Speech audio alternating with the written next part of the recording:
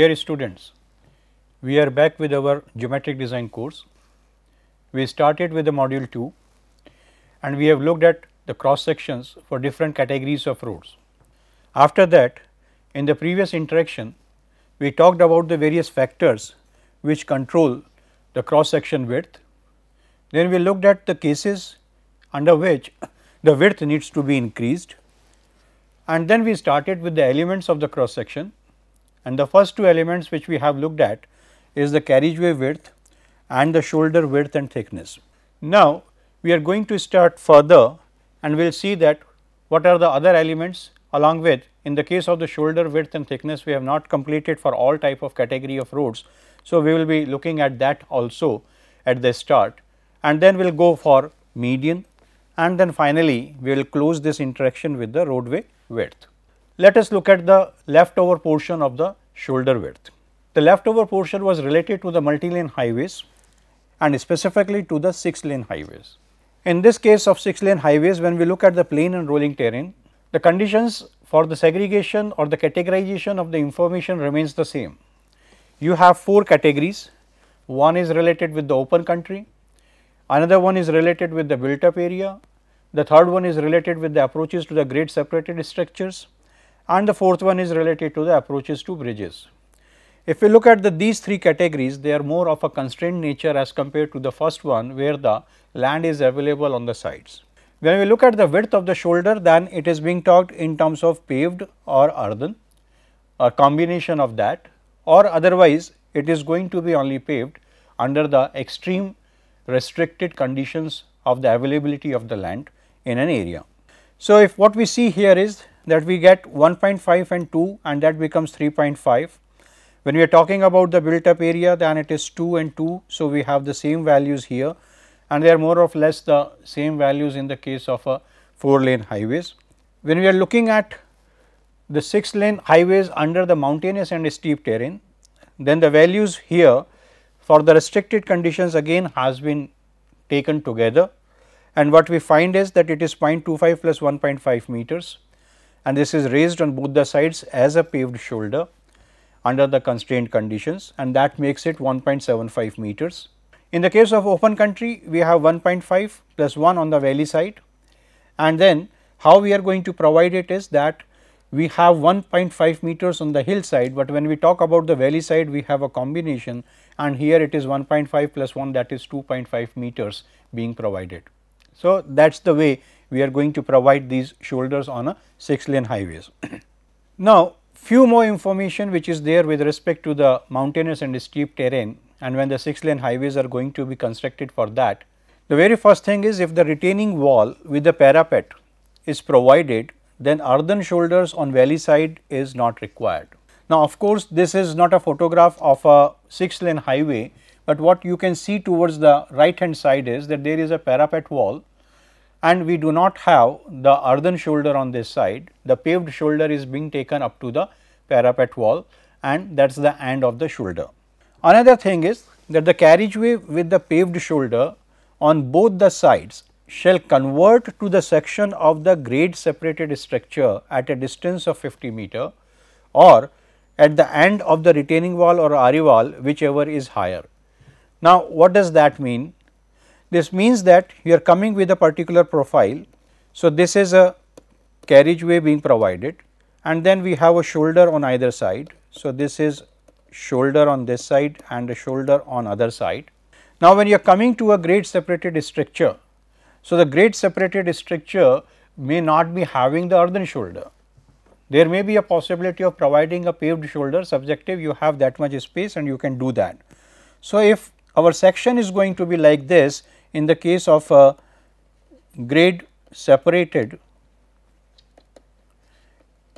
structure, then what we need to do is we have to converge to the section of the grade separated structure 50 meters before the start of that. So, what we are going to do is then finally we are going to culminate into this sort of a condition. So, we will be getting into the flare condition here and by doing that flare what we are section we are going to get is the section which is there at the grade separated structure. If the retaining walls are being provided then that is to be considered retaining wall, RE wall or the abutments which are being provided. Another thing is the retaining wall or RE wall that should have a crash barrier on its top. So, subjective any vehicle goes out of control and hits on the outer side. So, in that case we should have a crash barrier being provided on that uh, parapet wall or a RE wall so that it deflects back and comes back on the carriageway. Then another thing is and that is where you can see here that this crash barrier has been provided here and that is also a curve. So, the two conditions are there and for those two conditions it is going to serve the function. Now, in case the retaining wall or RE wall is not abutting the paved shoulder, then the section beyond 50 meter from the structure shall be as for the open country. So, we have looked into the table. In the table we found that for a built up area for the approaches to the grade separated structures or the other structures which are there like flyovers, the widths are different as compared to the open country. So, what it says is that if your RE wall is not abutting then it means you have the space so as to carry forward the section which is there on an open country with isolated built up area over this particular structure and that is when it is being taken or is still if there is a possibility of transforming the widths because of any other reason then the flare which is being provided is at a rate of 1 in 25. So, that is the way we are going to do it. The another thing is the crash barrier shall be provided in the earthen shoulder area. So, you can see that here the earthen shoulder area is there and the crash barrier has been provided on that. So, again this is again a safety side towards the valley also.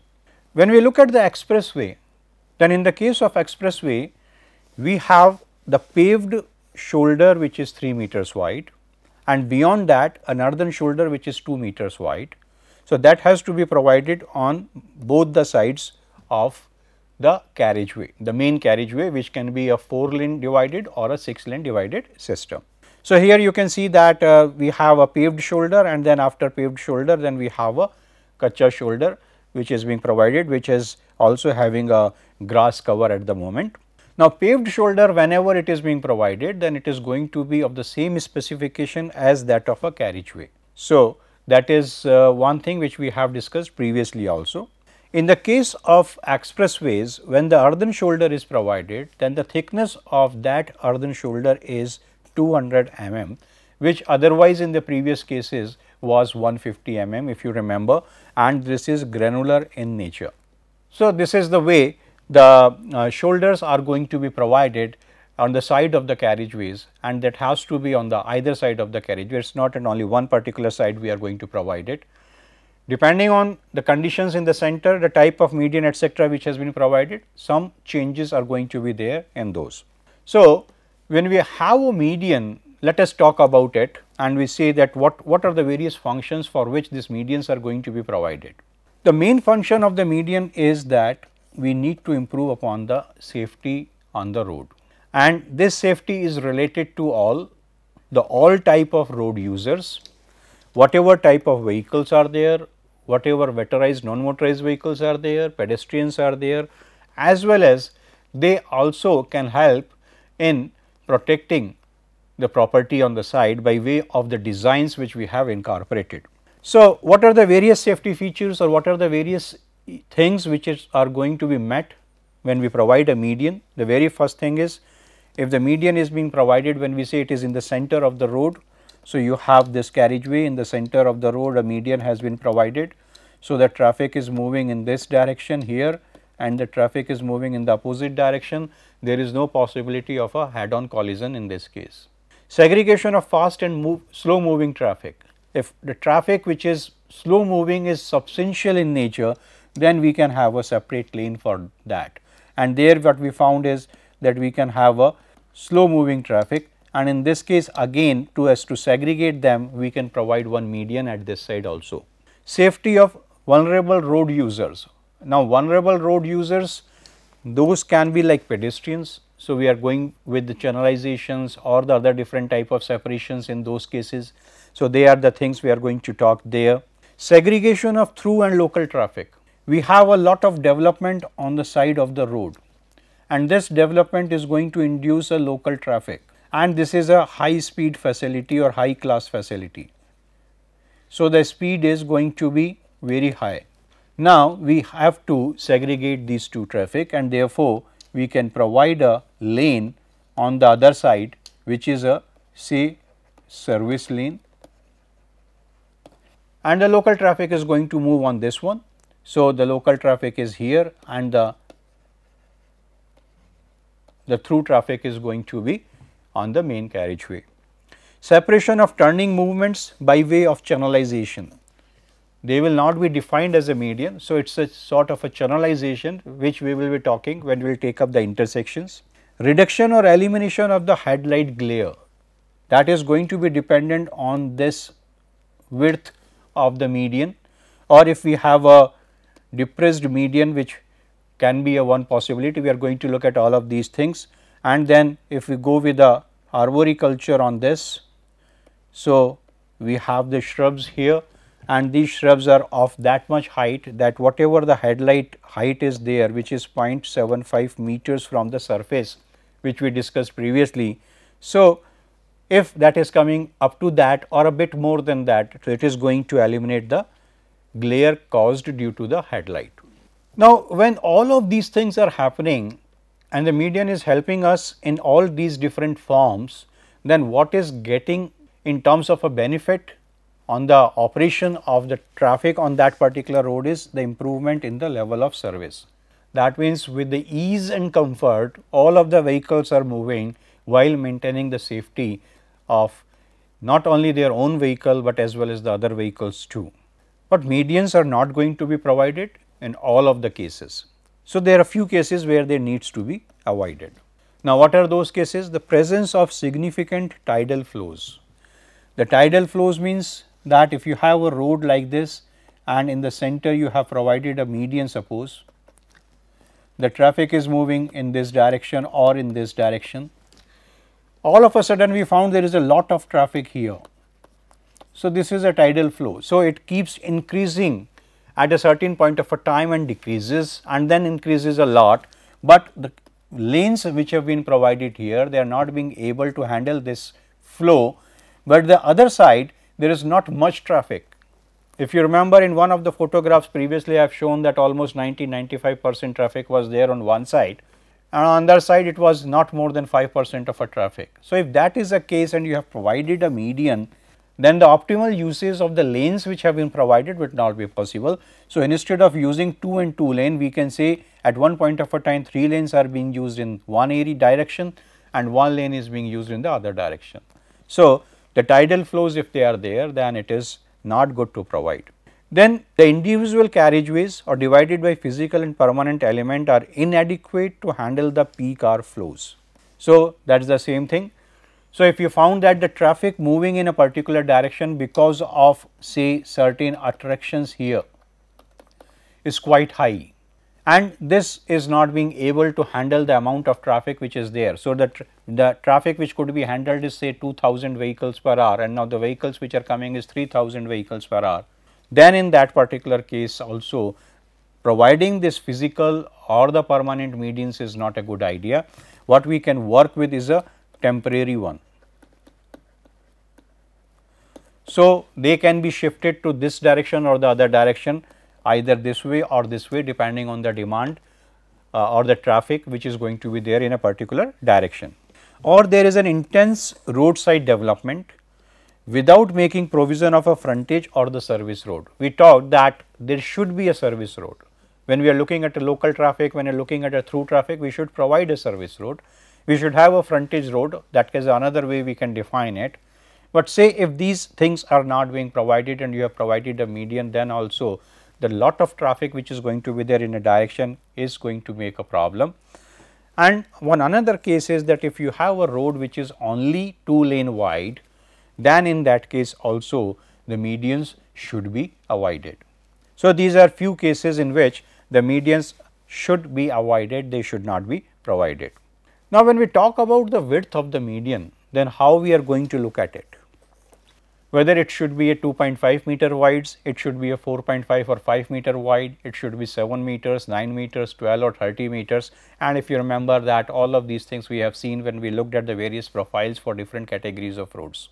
So, the very first thing is what amount of land is available. Is it an open country or it is a built up area. So, you have more of restrictions here or it can be with respect to the type of facility. Say you are on bridge, you cannot provide the medians or the wide medians at all. Type of terrain condition, we have looked at these terrain conditions and their effect when we were talking about even the shoulders. So, the type of terrain whether it is plain, rolling, mountainous or steep, they are also going to make a difference because then again this is going to be correlated with the availability of land. The cost of land is another issue. You have the land available in an area, but the cost is so high and if you have to acquire it then the cost of project is going to increase a lot. So, then probably you are going to compromise something in terms of the width of the median, the type of the traffic which may require a segregation. So, segregation can be in terms of motorized or non-motorized, it can be in terms of fast or slow, big or small, what type of that segregation is required. So, this is also need to be looked at, but then this is also going to be correlated with respect to the composition as well as volume because that is going to define that whether we need to provide a separate lane for a type of a traffic or not. Traffic maneuvers that is related more with the channelization. So, we have a right turning, we have a left turning, the traffic is moving straight, there is a merging or diverging traffic. So, all these type of maneuvers are there and if we have to segregate them then what are the ways in which that can be done is what we are looking here. Directional distributions so, that means we are talking in terms of a divided system to be provided so that we can segregate the traffic in this direction also. Drainage considerations, safety, there are so many things which can be there which may be going to make a difference because if you have provided a median, it may happen that on this side you need to provide a channel so that the water which is flowing from here because of the camber gets filled and then it is taken longitudinally as well as transversely out of the system. And safety we have of course talked about. So, what amount of safety, what type of safety is to be ensured depends that that what can be the width of a system. Here what you can see is the different type of uh, medians which are being shown. The first one is uh, a raised median and this raised median is uh, taking a less of space in the sense that it is a concrete system but along with that concrete system you have a clearance or buffer on the side. If you remember I told that uh, it is roughly around 2.5 meters and 1 meters as a buffer on this side and that side that total makes it 4.5 meters. We have discussed it about it in one of the profile conditions. Then if you look at 2 what we have is a depressed median or a median which is being left open without having any other development. Tomorrow if there is a requirement of an upgradation then probably if the space is available we can take a lane from here and here and in that case this median is going to be narrower tomorrow and we have to see that what type of a median whether in terms of this raised median we have to provide or otherwise this is sufficient. Another case which is being shown is here in 3 where this is a raised median which is having some width can be 1.2 meters or more than 1.2 meters. It is a raised system, but it is clearly being marked on the sides you can see the black and white patches are there and this is what is a kerb stone which we talked in the case of uh, the profiles also. Here it is a flush median. So, this is a case 4 so, where we are talking about a flush median and the vehicles have got separated out. If there is an emergency then this can be utilized for the movement of those emergency vehicles also. So, this is that much wide that that can be utilized in that sense. Now, let us look at the median widths in different environments. The first one which we are taking is the urban roads. Now, in the case of urban roads, we already said that if it is a two lane road carriageway, then we are not going to provide a median on that. If it is a say a three lane system, then obviously you do not have a center and we should not go for a provision of a median. So, what it says is that if the roads are 4 lanes or more, then we should provide a median there. As far as possible, the medians should be wide enough, but then it depends on the availability of the land. The wider medians if being provided then they can also allow the U turning. So, if you have a say only this much median is being provided and you have a big vehicle which is here, then the turning of this vehicle is going to be something like this. So, what you found is that is taking lot of space and there is a clearance here. But if you have already done a case where this median has been widened at this point. So, it you allow a driver to take a turn with the higher radius and that is how it becomes more smoother. Transition in width if required shall be done at a rate of 1 in 15 to 1 in 20. In the shoulders we talked about 1 in 25 there. So, if this type of a flare is there or a change is there then the rate is 1 in 15 to 1 in 20. Now, what are the minimum widths of the medians? If we have a pedestrian refuge that means there are this is a section and say this is a median here there are people standing on the either side of the road and they want to cross either this way or that way. So, the traffic is continuously moving here what they pedestrians need that they need a space where they can stand. So, first of all they have crossed one side and then they stand there check out whether it is safe enough to cross further and they will cross again. So, this space if it is being provided that, that is known as a pedestrian refuge which should be minimum 1.2 meters wide. Median lane for protecting vehicles making a right turn is 4 meters and desirable is 7.5 meters. What does that mean is it says that you are coming here. So, if there is a vehicle which is coming from this side and takes here and then come and is going to take a right turn. So, what we are doing is that we are providing an space here for that vehicle to be stopped which can be say 2.5 or 3 meters wide and if we talk about this one as minimum 1.2 meters as we said here. So, 2.5 plus 1.2 minimum is 3.7. So, what we are saying is a minimum of 4 meters should be provided here at this point.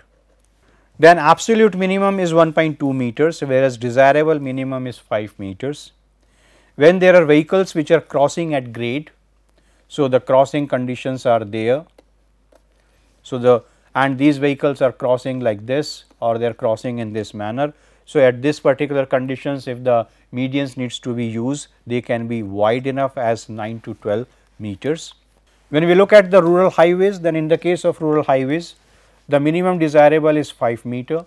The absolute minimum in the restricted area is 3 meters when we are talking about the bridges, long bridges and viaducts, then the minimum is 1.2 meters, but desirably we should provide 1.5 meters there also. And in the case of hilly and rolling terrain, we have to look at the topography and see that what are the widths which are feasible to be provided depending on what are the total width which is available and then deduct from there the number of lanes which are to be provided or if there is a requirement of a footpath then we can see we are left with something and that can be provided as a width of a median. Now, here we are talking about the median width and again this is for a multi-lane system. Multi-lane system again we have talked about this in the previous slides also.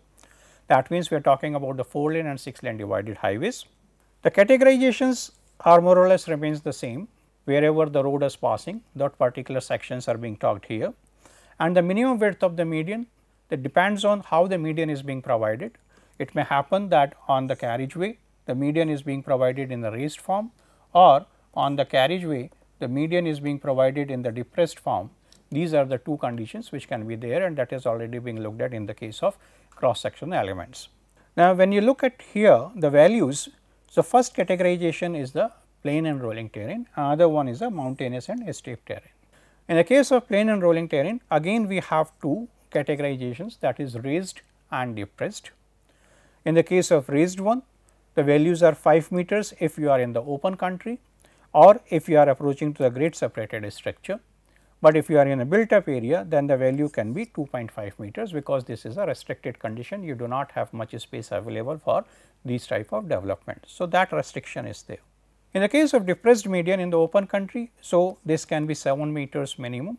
So, we are providing this as 7 meters wide but in the case of built up area, in the case of approaches to the grade separated structures, obviously there is no possibility of providing a depressed median and that is why the values have not been specified for those cases. If you talk about the mountainous and steep terrain, the raised median is only being talked and this raised median uniformly is being taken as 2.5 meters across all the categorizations uh, wherever the road is passing through different conditions. Now, what are the additional things which we are going to talk about when we have a median? So, the very first thing is that a 0.6 meter of the depressed median alongside the carriageway shall be paved and that is what we have seen when we looked at the profiles also. So, you have a carriageway, you have a depressed median here like this. So, what it says is that on this side this is 0.6 meter which should be paved additionally and we are talking about the carriageway on this side and then here if you remember the crash barrier was provided subjective to the this particular widths. So, this is one thing. Another thing it says is the metal crash barriers they should be provided on either side of the depressed median for width of median up to 9 meters. So, if this is more than 9 meters then crash barrier is not required it becomes wide enough so that if due to any error if the vehicle goes into the median it is not going to hit the vehicles on the other side. Shrubs should be used in the depressed median. So, means we should go for a sort of a plantation and that helps in reducing the headlight glare. The other way of doing it is to use the metal or plastic screens. They are also anti-glare materials so, they can be used on flat stretches, horizontal curves, but the height can be up to at the maximum 1.5 meters. Suitable drainage system has to be provided so that there is no stagnation of water here in the median and that is the reason is that there should be a drain here at the center of this median. So, whatever water flows from this direction and this direction is being collected in this drain and taken longitudinally and at one point of a time it is going to be drained out from the system towards the site. Transition rate if any, if it is there then that is done at a rate of 1 in 20. So, that is how we are doing it. Then another thing is that you are having a long road and there is a median being provided in the center like this and you have two lanes on that side and two lanes on this side. Somebody has come wrongly on this particular section, but was not supposed to be on this. So, now there is no opportunity for this driver to take a U-turn and go back. It should not happen that there is a median continuously from Delhi to Bombay and then you cannot take a turn in between. So, what it says is that we should have the openings at a certain level. So, if this is going like this, then say we have a opening here and this opening they should be provided at a spacing not less than 2 kilometers. So, this distance which we are talking it should not be less than 2 kilometers here.